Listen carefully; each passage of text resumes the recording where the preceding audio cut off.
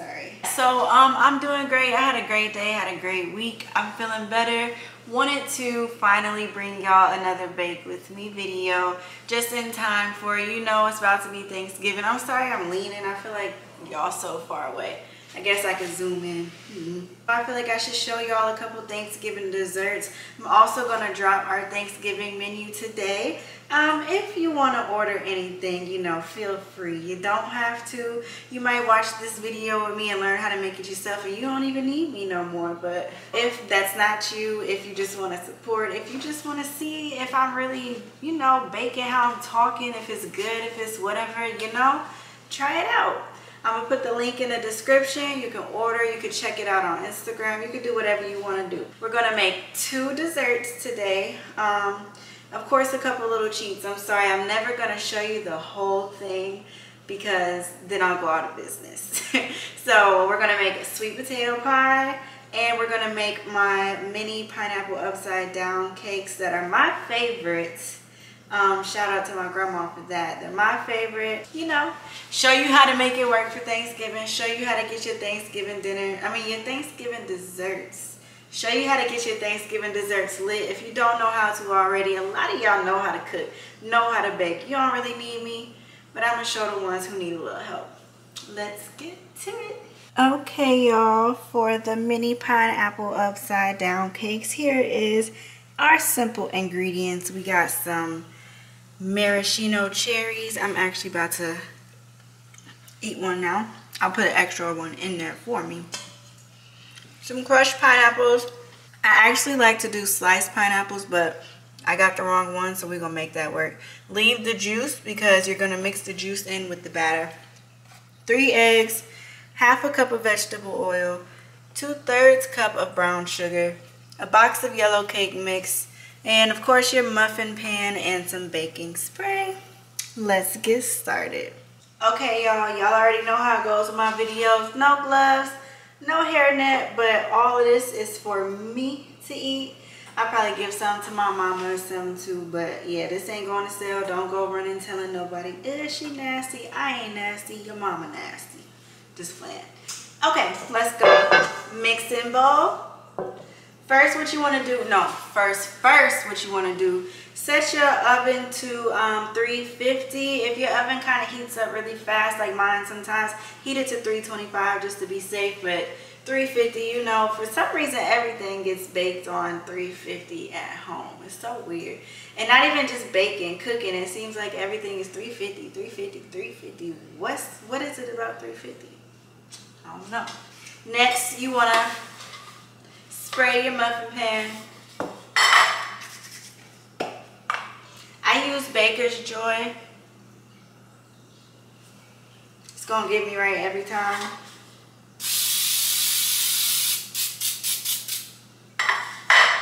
Give it a little spray. And you can put it to the side till you're ready to, you know, load it up. And next you want to mix your cake mix.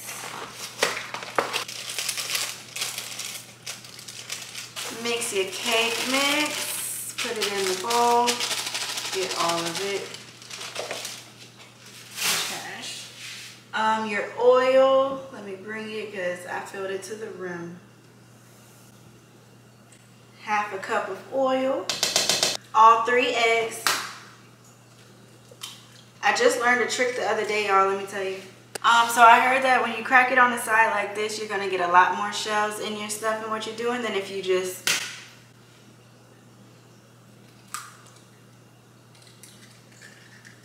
crack it on a flat surface. I'm going to clean this up real quick. Be right back. Okay, I'm back and I'm better. We got our oil, our eggs, and our cake mix in here. So next thing, we just need the um, pineapple juice.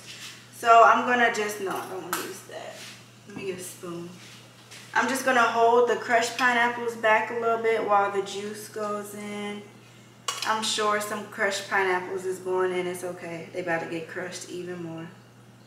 All the pineapple juice, yeah. Cool. Now it's mixing time. You can mix it with your hands. I mean, not your hands. You can use like a whisk yourself and mix it. But I told y'all in my last video, I really like to use my handy dandy little hand mixer. It makes life so much easier. It's going to make my hands and my wrists last longer in this, you know, tough baking life of mine. and it's going to get the job done every time way faster than me. So just do a little mixing. Working on a weekend like usual. Off in the deep end like usual. Stop as you need to and um, just kind of scrape the sides because you want all of this to mix evenly. Everything to get a little piece of mixing. And that powder will come up a little bit. Scrape the bottoms to be safe. Ain't, ain't nothing stuck on the bottom.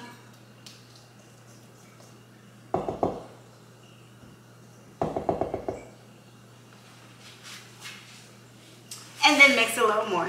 Niggas swear they passed us, they doing too much. Haven't done my taxes, I'm too. It's gonna look like this.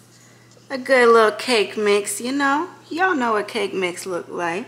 And then we're gonna set this to the side and get the next part ready.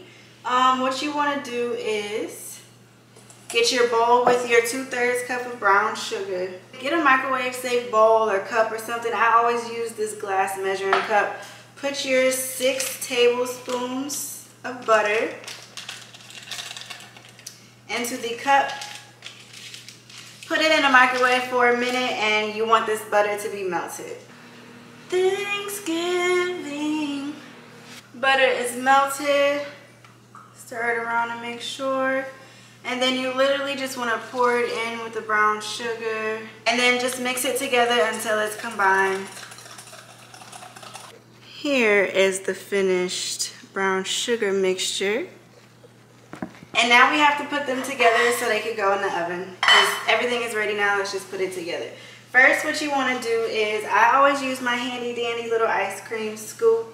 Um, put a little bit of the brown sugar mixture into each cup. Virgil got a Patek on my wrist going nuts. Niggas caught me slipping was okay, so. So far, you should be giving a little something looking like that. Uh-huh. Next, what you want to do is take... I'll try to show y'all with one hand. You want to take a cherry, put it in the middle, and then you want to put pineapple around the cherry. Circle it and I'm around you like a pineapple. Yep, and you want to do that for each one.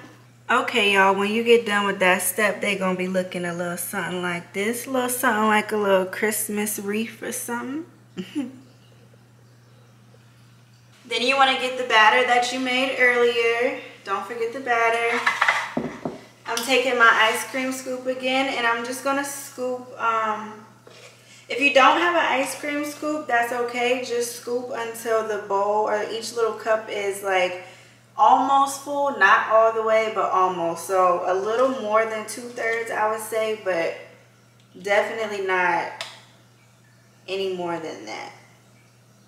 And you might have to spread it out a little bit because it could be a little thick, a little on the thicker side. A little on the thicker side.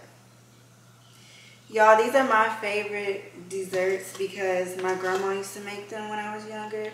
And it's really no other deeper reason to it other than that. Just for some reason, when I think of my grandma and Thanksgiving and desserts, I think of pineapple upside down cakes.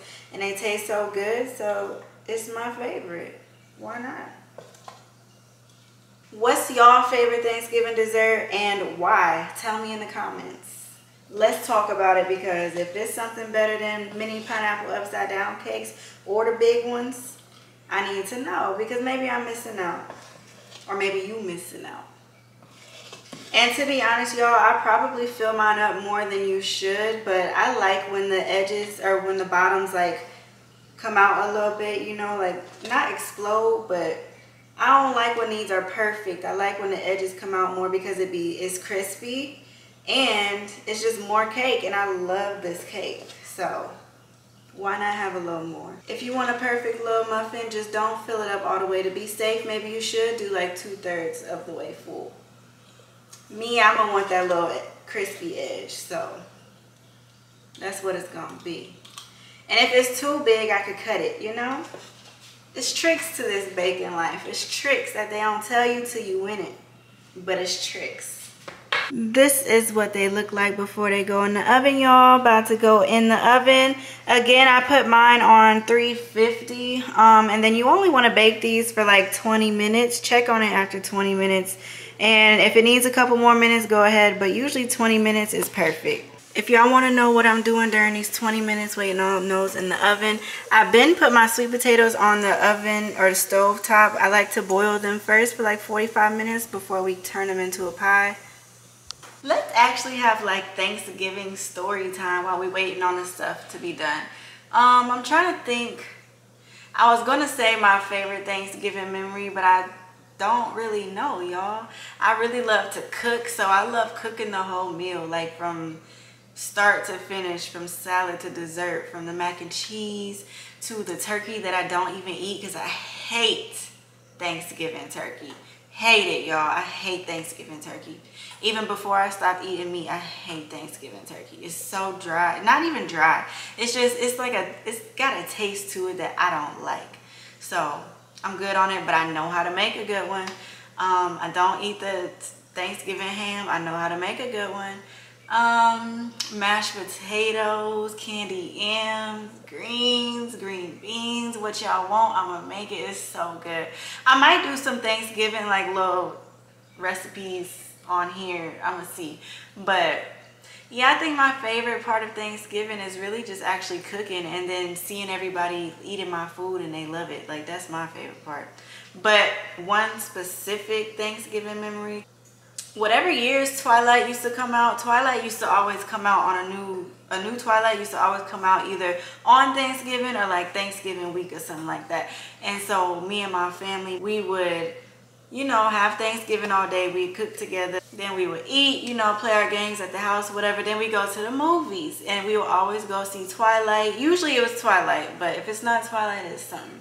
So another good Thanksgiving memory I have was always just, you know, finishing up the meal and the games and stuff and then going to the movies with my folks. I love the movies and I love my folks, so. Okay, y'all, they are out the oven and cooled off, sorry. Here they go. Now, all we have left to do for real is, you can take a regular like cookie sheet, baking sheet, anything. I usually take my little cooling rack one of them and um, put it on top. Make sure that everything is covered and literally flip it over. Give it a little, yeah.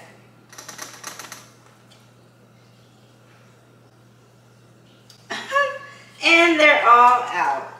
This is your final product with the mini pineapple upside down cheesecakes. Y'all see what I mean about the extra little edges? Like if you want it perfect like that one, by all means do your thing. If you want a little crisp like me, yeah. Here they go, y'all. So good.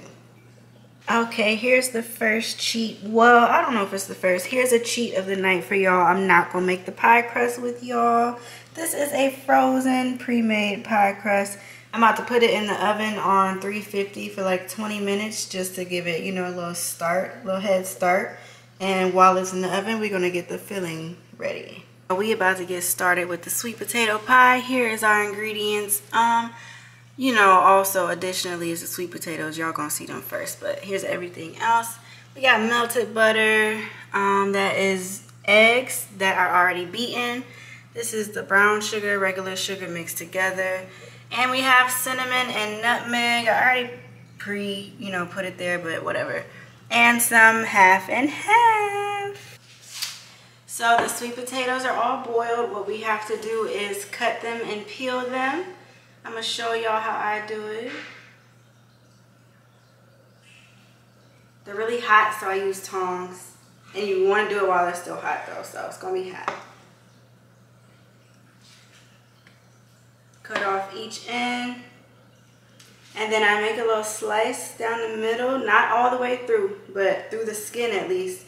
And then I use the tongs to try to peel as much of the skin off as I can. Well, let me not say that. All the skin is getting peeled off.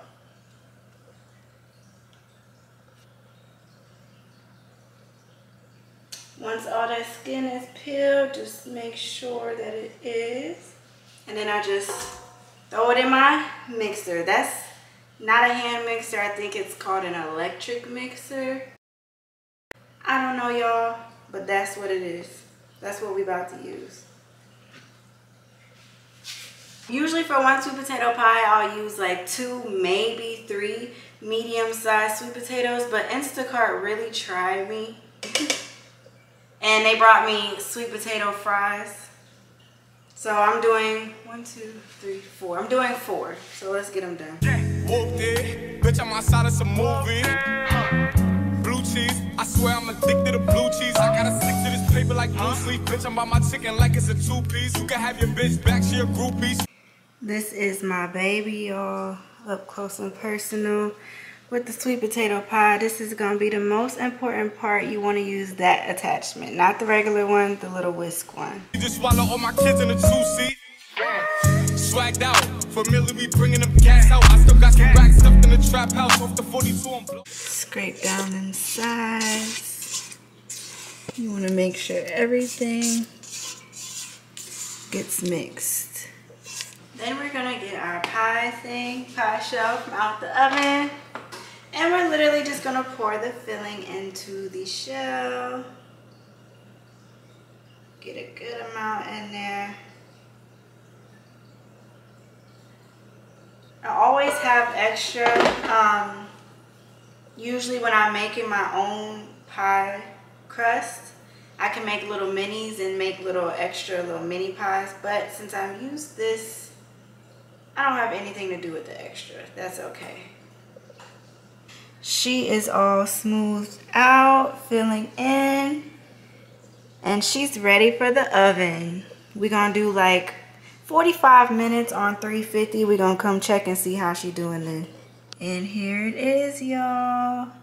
Yes, I did the knife test. I'm going to make sure my stuff is done every time before I take it out. The knife test is inserting a knife in the middle or towards the middle. If it comes out clean, then your pie is ready.